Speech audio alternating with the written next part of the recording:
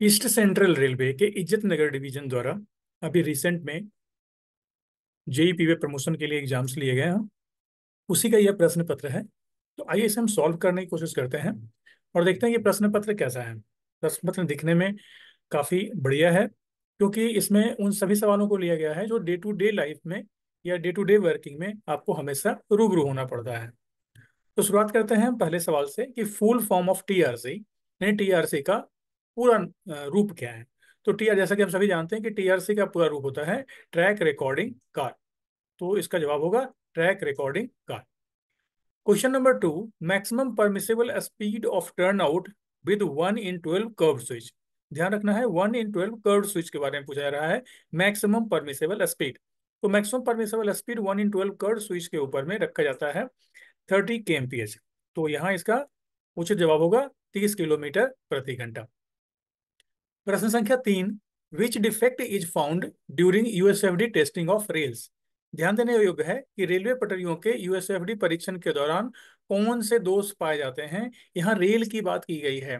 तो DFW R weld defect है IMR rail defect है, हाफ़ मून वेल्ड डिफेक्ट है। तो इस ढंग से हम ऑप्शन बी इसका सही जवाब समझ सकते हैं। प्रश्न संख्या चार, versine of turn in curve should be recorded on how metre chord length यानी कि टर्न इन कर्व के वर्साइन को कितने मीटर कॉर्ड की लंबाई पर रिकॉर्ड किया जाना चाहिए? तो सामान्य कर्व में जो कॉर्ड होते हैं वो 20 मीटर के होते हैं और टर्न इन कर्व और लीड कर्व जो पॉइंट एंड क्रॉसिंग के हैं, वहाँ पर 6 मीटर का कॉर्ड रखा जाता है, क्योंकि तीन तीन मीटर पर स्टेशन बनाए जाते हैं। तो इसका जवाब होगा छह मीटर। प्रश्न संख्या पाँच, maximum length of L W R is restricted to.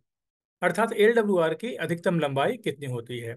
तो एल डब्ल्यू आर की न्यूनतम लंबाई 250 मीटर होती है और अधिकतम लंबाई एक पूरा ब्लॉक सेक्शन हो सकता है। तो इसका जवाब होगा ऑप्शन बी, यानी कि one block section.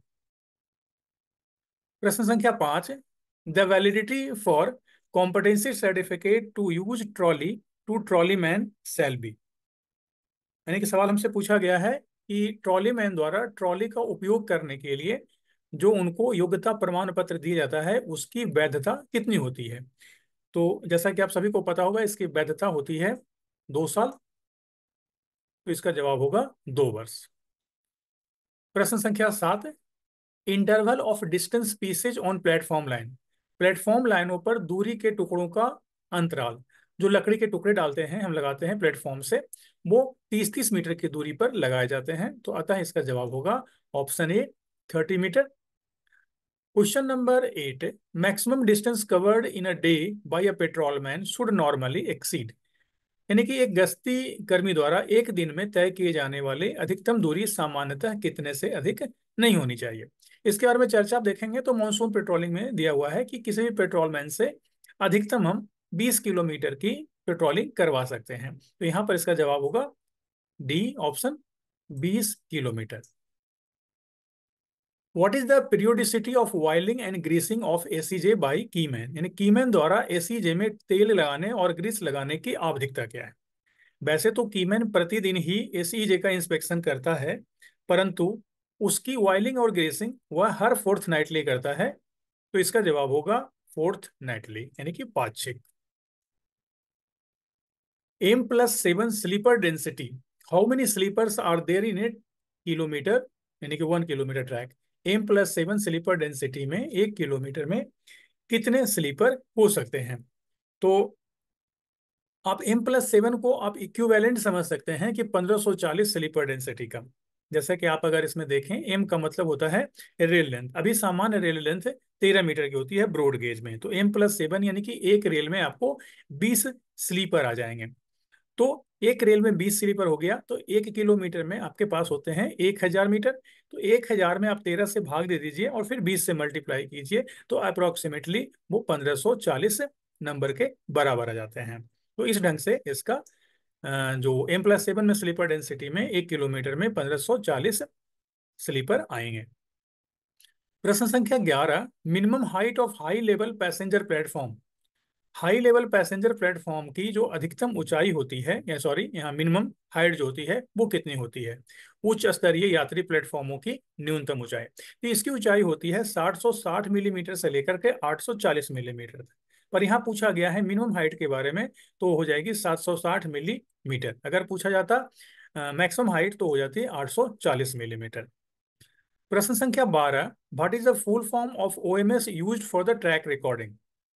Question number one की तरह ही है, उसमें टीआरसी पूछा गया था, यहाँ पर ओएमएस पूछा गया है तो ओएमएस होता है ऑसिलेशन मॉनिटरिंग सिस्टम। एक पोर्टेबल मशीन है जो लेटरल और वर्टिकल एक्सेलरेशन को रिकॉर्ड करता है तो ये होता है ऑसिलेशन मॉनिटरिंग सिस्टम। प्रश्न संख्या तेरह की ओर चले। IMR defect rail shall be replaced within IMR दोषपूर्ण रेलों को कितने दिनों के भीतर बदल दिया जाना चाहिए? बहुत ही फ़ेमस क्वेश्चन है तो इसे तीन दिनों के अंदर में बदल दिया जाना चाहिए। Radius of five degree curve पाँच डिग्री वक्र की त्रिज्या कितनी होगी? तो पाँच डिग्री वक्र की त्रिज्या आपको पता करने के लिए त्रिज्या का फॉर्मूला होता है आर इक्वल्स टू सत्रह सौ पचास बटा डी तो सत्रह सौ पचास में अगर आप पाँच से भाग देंगे तो उसका जवाब निकल करके आपके पास कितना आएगा? ध्यान रखें आपका निकल करके आएगा आपके पास तीन सौ पचास। तो इसका जवाब होगा तीन सौ पचास। क्योंकि सत्रह सौ पचास में आप पाँच से भाग दीजिएगा तो पहली बार तीन लगेगा और दूसरी बार पाँच का भाग लगेगा और लास्ट में एक ज़ीरो आएगा। तो इस प्रकार तीन सौ पचास मीटर इसकी त्रिज्या होगी। प्रश्न संख्या पंद्रह हाइट ऑफ़ सिक्सटी के जी रेल बहुत ही वेल फ़ेमस क्वेश्चन है। तो इसका जवाब होगा 172 मिलीमीटर साठ किलोग्राम रेल की ऊंचाई होती है। On the basis of the temperature how many zone in the Indian railway तापमान के आधार पर भारतीय रेलवे को कितने जोन में बांटा गया है?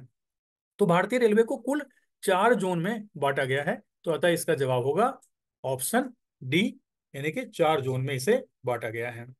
प्रश्न संख्या सत्रह में चले। Wagon used for carriage of ballast आप लोगों ने लाइन पर अगर काम करते हुए बैलास्ट ले जाने वाली आपने वैगन्स को देखे होंगे, जिसमें से कि बैलास्ट अनलोडिंग की जाती है तो उस प्रकार के वैगन्स को क्या कहा जाता है? तो उस प्रकार के वैगन्स बॉबी कैटेगरी को B O B Y category में आते हैं जैसे हमारे पास कभी बॉबीएन जिसे सामान्य भाषा में हम बोलचाल की भाषा में भी कहते रहते हैं, बॉबी एन। क्योंकि तो वो एन उसमें एक टर्म इस्तेमाल किया जाता है कि B O B Y category में और भी वैगन्स बनते हैं। In PQRS working auxiliary track should be laid at gauge of PQRS card में सहायक ट्रैक को कितने गेज पर बिछाया जाता है। तो ये बहुत पुराना सवाल है, काफ़ी फ़ेमस सवाल है। तो इसका जवाब होगा 3400 मिलीमीटर। प्रश्न संख्या 19 hot weather patrolling is to be introduce in the L W R R क्षेत्र में गश्त शुरू की जाती है कब?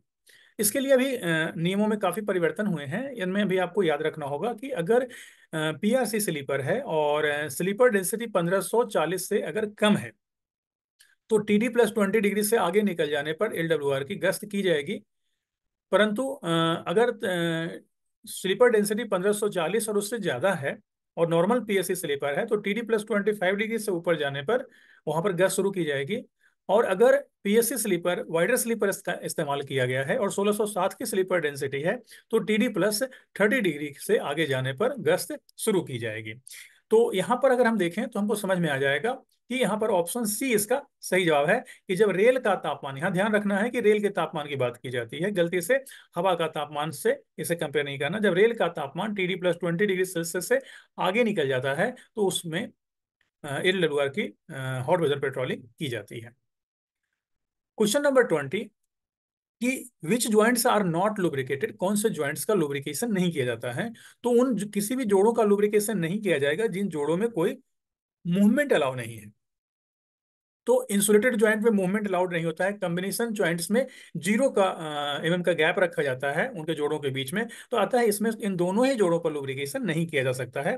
तो ऑप्शन सी इसका सही जवाब होगा। Question number 21. Works which are completed by sunset of the day of the commencement are called the work of which duration? जो कार्य प्रारंभ के दिन सूर्यास्त तक पूरे हो जाते हैं, उन्हें किस अवधि का कार्य कहा जाता है? तो वे सभी काम जो कि सूर्यास्त तक खत्म हो जाते हैं, एक दिन के काम होते हैं, उन्हें शॉर्ट ड्यूरेशन ऑफ़ वर्क कहा जाता है। यानी कि छोटी अवधि के कार्य या लघु अवधि के कार्य कहे जाते हैं। प्रश्न संख्या 22 S F one is use for S F one का उपयोग किस काम के लिए किया जाता है? तो जब किसी कर्मचारी को किसी ऐसे कार्य में लिप्त हो पाया जाता है जो कि निर्धारित नियमों के विरुद्ध है और उसे उसे नौकरी पर रखना भी संभव नहीं होता है तो वैसी स्थिति में उसे न, उसे कार्य से हटाने के लिए उसे तत्काल प्रभाव से या पूर्व प्रभाव से भी कभी कभी सस्पेंड किया जाता है। लेकिन जब तत्काल प्रभाव से सस्पेंड किया जाता है तो उसके लिए एस एफ़ वन दिया जाता है और जो पूर्व प्रभाव से दिया जाता है तो एस एफ़ टू दिया जाता है। यहाँ बात की गई है एस एफ़ वन की यानी कि सिर्फ़ यहाँ सस्पेंशन के बारे में बात है तो इसका ऑप्शन है इसका राइट आंसर होगा। सेंस्योर कम्स अंडर निंदा किसके अंतर्गत में आता है? क्या सेंस्योर को हम पेनाल्टी की श्रेणी में डाल सकते हैं? जी हाँ सेंस्योर माइनर पेनाल्टी के अंतर्गत में रखा जाता है तो सेंस्योर एक प्रकार की माइनर पेनाल्टी है, क्योंकि माइनर पेनाल्टी में जो सबसे छोटी पेनाल्टी होती है, उसे सेंस्योर कहा जाता है और हिंदी में उसे निंदा कहा जाता है। S F five S F five किस कार्य के लिए जारी किया जाता है? ये आपको ध्यान रखना है, ये सब एस एफ़ हमेशा इंपॉर्टेंट है और ये पूछे जाते हैं परीक्षाओं में। तो एस एफ़ किस कार्य हेतु जारी किया जाता है? एस एफ़ जैसे एस एफ़ इलेवन और एस एफ़ फाइव तो आपको फ़ील्ड में अक्सर आपसे पूछा जाता है। जानकारी अब इसका इस्तेमाल हम लोग करते हैं। तो एस एफ़ इलेवन किया जाता है छोटी पेनाल्टी के लिए, यानी माइनर पेनाल्टी के लिए, और एस एफ़ फाइव इस्तेमाल किया जाता है मेजर पेनाल्टी के लिए चार्जशीट दी जाता है इस एस एफ़ फाइव के ऊपर में। तो हो जाएगी ये मेजर पेनाल्टी प्रश्न संख्या 25 how many days paternity leave can be sanction तो पैटर्निटी लीव किसी कर्मचारी के लिए अधिकतम एक बार में पंद्रह दिन की छुट्टी सैंक्शन की जा सकती है, क्योंकि पंद्रह दिन की छुट्टी दी जाती है, और यह अधिकतम बच्चे के जन्म के आगे छह महीने तक में इसे स्वीकृत कराया जा सकता है, और इसे टुकड़े में नहीं दिया जाता, इसे एक बार में ही सैंक्शन किया जाता है, और यह दो जीवित बच्चों तक के लिए दिया जाता है। प्रश्न संख्या 25 in terms of self appraisal and issue of pass PTO H R M S means स्वमूल्यांकन और पास में पीटीओ जारी करने के संदर्भ में एच आर एम एस का क्या मतलब है? तो ये बहुत ही फ़ेमस सभी ऐप है और वेबसाइट्स है जिसका हम इस्तेमाल कर रहे हैं बहुत सारे कामों में। तो इसका जवाब होगा ह्यूमन रिसोर्स मैनेजमेंट सिस्टम तो इसमें हम इस्तेमाल कर रहे हैं ह्यूमन रिसोर्स मैनेजमेंट सिस्टम मानव संसाधन प्रबंधन प्रणाली। डीएआर से हमारा क्या तात्पर्य निकलता है? डीआर से तात्पर्य निकलता है डिसिप्लिन एंड अपील रूल अनुशासन एवं अपील नियम। तो ऑप्शन डी इसका सही जवाब है। Buckling of track occurs due to track में बकलिंग किन कारणों से होता है? तो तापमान परिवर्तन के कारण ट्रैक में या तो फ्रैक्चर्स होते हैं या तो बकलिंग होते हैं। तो जब टेम्परेचर बढ़ता है तो उसके कारण से रेलों के अंदर में कंप्रेसिव फोर्स पैदा हो जाते हैं और जब कंप्रेसिव फोर्स इतने अधिक हो जाते हैं कि ट्रैक स्ट्रक्चर उसे रोकने में सक्षम नहीं हो पाता है तो उस कंडीशन में बकलिंग हो जाता है। और अगर ठंडी का मौसम है और टेम्परेचर काफ़ी कम हो रहा है तो रेल टूटती है, उस कंडीशन में टेंसाइल फोर्सेज लगते हैं। तो यहाँ पर बकलिंग के बारे में पूछा गया है तो यहाँ पर हो जाएगा कंप्रेसिव फोर्सेज उच्च संपीडन बल। What is the full form of UTS of the rail इस शब्द का प्रयोग आपने अक्सर सुना होगा। Seventy T seventy two UTS की रेल नाइनटी यूटीएस यूटीएस की रेल है। जैसे बावन के में और साठ के में इनका इस्तेमाल हम अक्सर सुनते आते रहते हैं। तो इसका जो फुल फॉर्म होता है यूटीएस का अल्टीमेट टेंसाइल स्ट्रेंथ होता है। तो इसका जवाब होगा अल्टीमेट टेंसाइल स्ट्रेंथ प्रश्न संख्या तीस what is the name of training courses for the welding supervisor welding supervisor के लिए जो कोर्स आयोजित किया जाता है, उस कोर्स का नाम क्या है? जिसे कि टीपीपी लखनऊ और विजयवाड़ा में दिया जाता है। तो वेल्डिंग सुपरवाइजरों के लिए जो कोर्स है टी डब्ल्यू थ्री पहली बार में इसे ऑर्गेनाइज किया जाता है, एक प्रकार का इनिशियल कोर्सेज है, और टी डब्ल्यू फोर एक नया कोर्स इंट्रोड्यूस किया गया है, जो कि रिफ्रेशर कोर्सेज होते हैं। तो यहाँ पर वेल्डिंग सुपरवाइजर के लिए प्रशिक्षण पाठ्यक्रम के नाम बात किए गए हैं तो टी डब्ल्यू थ्री है, क्योंकि टी डब्ल्यू वन और टी डब्ल्यू टू वेल्डर के लिए इस्तेमाल किए जाते हैं, और T W three welding supervisors के लिए इस्तेमाल किए जाते हैं। What is the full form of F M या पॉइंट एंड क्रॉसिंग के आसपास में इसे अक्सर देखा होगा, जहाँ पर दो लाइनें अपनी निर्धारित सेंटर टू सेंटर डिस्टेंस से कम होने लगती है, वैसे कंडीशन में इस स्ट्रक्चर को वहाँ पर लगाया जाता है और इसे एफएम से फॉलिंग मार्क क्योंकि वहाँ पर फॉल करती है centre to centre distance of the दो नजदीकी जो ट्रैक होते हैं, उनके सेंटर टू सेंटर डिस्टेंस जब फॉल करने लगते हैं, उनसे कम होने लगते हैं, निर्धारित नियमों से कम होने लगते हैं तो वैसे कंडीशन में वहाँ पर फॉलिंग मार्क लगाया जाता है। Dip lorry can be worked by. Dip lorry को चलाया जा सकता है। तो डीप लॉरी पर हमेशा एक हैवी लोड दिया लेकर के चला जाता है और खुद भी वो काफ़ी भारी होता है। तो ऐसे कंडीशन में उसे बिना ब्लॉक के चलाना तो बिल्कुल ही सुरक्षित नहीं हो पाएगा। इसलिए नियम है कि डिप लॉरी को हमेशा ब्लॉक सुरक्षा के तहत ही चलाया जा सकता है। तो अंडर ब्लॉक प्रोटेक्शन ही उसे चलाया जाएगा। The census of traffic at all level crossing. सभी लेवल क्रॉसिंग पर ट्रैफ़िक की सेंसस कितने समय में की जाती है? तो सभी जो सेंसस किया जाता है सेंसस हमेशा तीन साल में एक बार किया जाता है। तो इसका अर्थ है इसका जवाब क्या होगा? ऑप्शन ए ऑप्शन ए इसका वास्तविक जवाब होगा क्योंकि तीन साल में एक बार। यहाँ पर आप एक देख पा रहे होंगे कि इससे हिंदी में इसका आ, इसका आ, क्या बोलते हैं ट्रांसलेशन नहीं हो पाया है। तो मैं इसे पढ़ देता हूँ तो census of traffic at all level crossing will be. यानी कि प्रत्येक लेवल क्रॉसिंग पर सेंसस कितने समय के बाद किया जाता है? तो वह तीन वर्ष के बाद किया जाता है तीन वर्ष में एक बार किया जाता है। Beat of hot weather patrolman on single line L W R section. यहाँ पर फिर उसी का हिंदी बता देता हूँ कि एक जो हॉट वेदर पेट्रोलमैन होता है, अगर single line L W R का सेक्शन है तो एक हॉट वेदर पेट्रोलमैन की बीट कितनी होगी? यानी कितनी दूर में वो उसका सेक्शन बांट के दिया जाएगा पेट्रोलिंग के लिए। तो हॉट वेदर पेट्रोलिंग में एक हॉट वेदर पेट्रोलमैन का अगर सिंगल लाइन है तो वैसे कंडीशन में उसे जो दिया जाएगा, दो किलोमीटर का सेक्शन दिया जाएगा तो दो किलोमीटर का सेक्शन वो पेट्रोलिंग करता है DFWR weld shall be replaced. DFWR weld shall be replaced. तो DF DFWR वेल्ड कब हमें मतलब रिप्लेस कर देना चाहिए, कितने दिनों में हमें रिप्लेस कर देना चाहिए तो DFWR तीन महीने के अंदर, यानी कि जब पता लग जाता है, उसके तीन महीने के भीतर उसे रिप्लेस कर देना चाहिए। Instrument use for measuring the vertical wear of the crossing crossing के वर्टिकल बियर को मापने के लिए किस उपकरण का प्रयोग किया जाता है। तो इसमें एक दो हमें इंस्ट्रूमेंट एक साथ इस्तेमाल करते हैं स्टेट एज और फिलर गेज प्रश्न संख्या सैतीस marking of DFW O build edge DFW O weld की मार्किंग कैसे की जाती है? तो इस आप ऐसे याद रख लें कि जो मार्किंग होती है, आप बाकी सभी का भी साथ साथ में याद रख लें कि आईएमआर और आईएमआरडब्ल्यू की मार्किंग तीन क्रॉस रेड कलर में की जाती है और डीएफडब्ल्यू आर के दो क्रॉस रेड कलर में की जाती है। ओबीएस और OBS W one cross red colour में की जाती है और D DFW O O red colour में किया जाता है। अब यहाँ पर एक चीज़ और समझने लायक है कि जो मार्किंग की जाती है वो कहाँ पर की जाएगी? वेल टेस्टिंग के दौरान में जो मार्किंग की जाती है और रेल टेस्टिंग के दौरान में जो मार्किंग की जाती है, उसमें फ़र्क होता है। जब रेल टेस्टिंग में मार्किंग की जाती है तो वह बेव में की जाती है और सॉरी रेल टेस्टिंग में जो मार्किंग की जाती है वो बेव में की जाती है और वेल टेस्टिंग में जो मार्किंग की जाती है, वह वेल्ड के हेड में दोनों तरफ़ किया जाता है। तो इसका जवाब होगा कि वेल्ड के दोनों किनारों पर लाल रंग का एक वृत्त बनाया जाएगा नहीं ओ निशान जैसा बनाया जाएगा।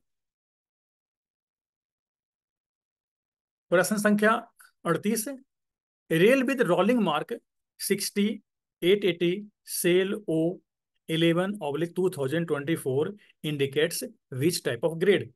एक रोलिंग मार्क आपको दिया गया है और इसमें से आपको बताना है कि किस ग्रेड को सूचित करता है।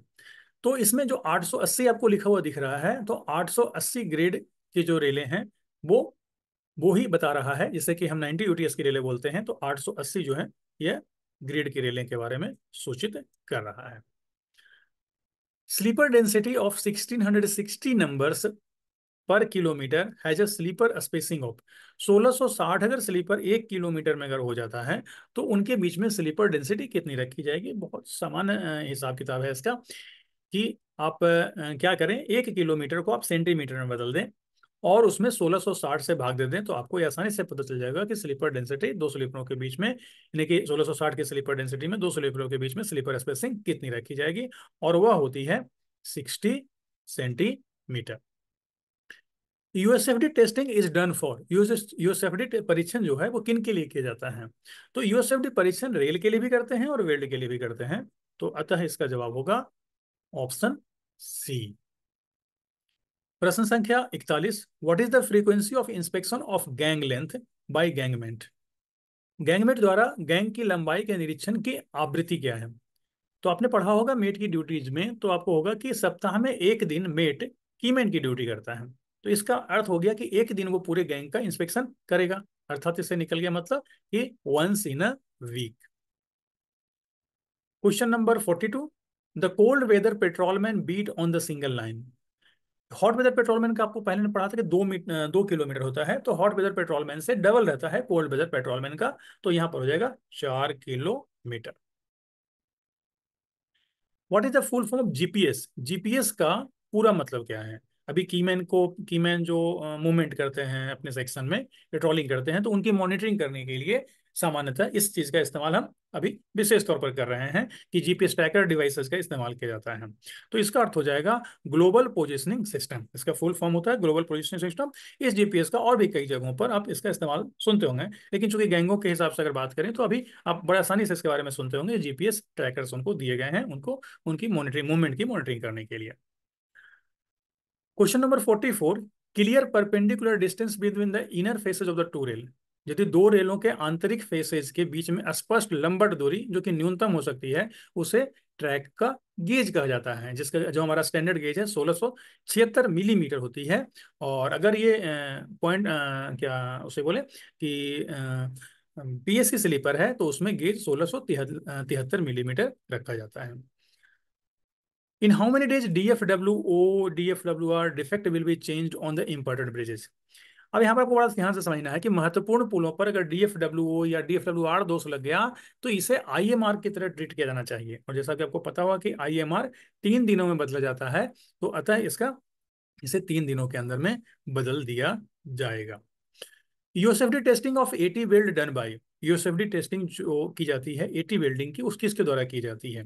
तो एसआरटी सिंगल रेल टेस्टर है डीआरटी डबल रेल टेस्टर है तो इसे वेल्ड टेस्टिंग मशीनों के द्वारा, यानी वेल्ड टेस्टर के द्वारा, इसे वेल्ड की टेस्टिंग की जाती है। जैसे कि हैंड प्रोबिंग के थ्रू किया जाता है। What is the mechanism required to join two rails in the track rail में दो रेलों ट्रैक में दो रेलों को जोड़ने के लिए क्या किया जा सकता है? तो फ़िश प्लेट और बोल्ट से भी कर सकते हैं एटी वेल्डिंग करके भी किया जा सकता है और फ्लैशबट वेल्डिंग करके भी किया जा सकता है। तो उपरोक्त तीनों मेथड ही उपयोगी हैं तो ऑल ऑफ़ द एबव उपरोक्त सभी। अब हमारे पास एक नेक्स्ट क्वेश्चन आ रहा है फोर्टी एट की M plus eight sleeper density how many sleepers will be laid in a track तो M plus eight sleeper density से आपका क्या मतलब है? अभी आपने कुछ समय पहले आपने देखा होगा एम प्लस सेवन के बारे में बात की गई थी। अब वही पर है कि एम प्लस एट के बारे में बात की जा रही है। तो एम प्लस एट में हमारी वैल्यू निकल करके कितनी आएगी? तो एम प्लस एट जो हमारे पास निकल करके आएगा, वैसे ही आप ऐसे कैलकुलेट कर लें कि एक किलोमीटर को में आप इसे कैसे निकाल पाएँगे? एम प्लस एट का मतलब हो गया एम को तेरह मान लीजिए, क्योंकि अभी न्यूनतम रेल लेंथ तेरह होती है ब्रॉड गेज के लिए।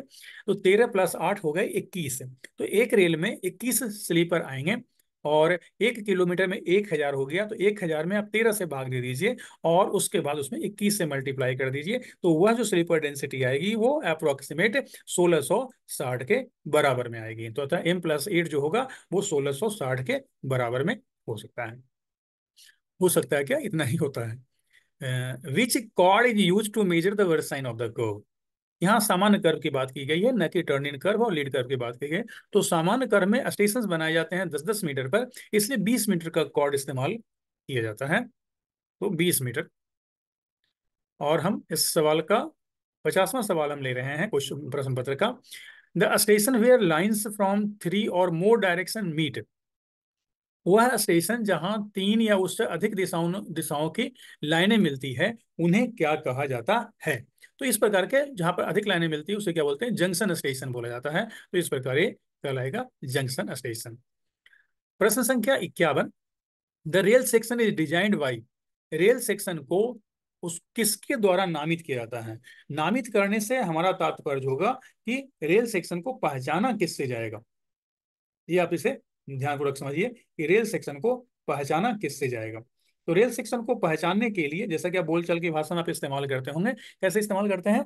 बावन किलोग्राम पर मीटर, यानी कि वेट पर मीटर, या सिक्सटी किलोग्राम पर मीटर, यानी प्रति मीटर लंबाई में जो वज़न होता है, उससे उसे डेजिग्नेट किया जाता है। Question number fifty two, in Indian railways designation of a curve is done by? तो भारतीय रेलवे में जो कर्व का डेजिग्नेशन दिया जाता है कर्व को जो पहचाना जाता है, उसे हम सामान्यतः जो पहचानते हैं, उसके डिग्री से पहचानते हैं। जैसे फाइव डिग्री का कर्व सिक्स डिग्री का कर्व इस डिग्री से उसे पहचाना जाता है डिजिग्नेट किया जाता है।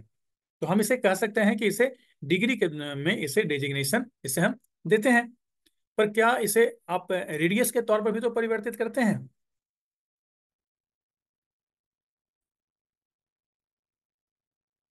तो हम बात कर रहे थे कि क्या इसे सिर्फ़ डिग्री से रिप्रेजेंट किया जा सकता है या रेडियस से भी इसे रिप्रेजेंट कर सकते हैं?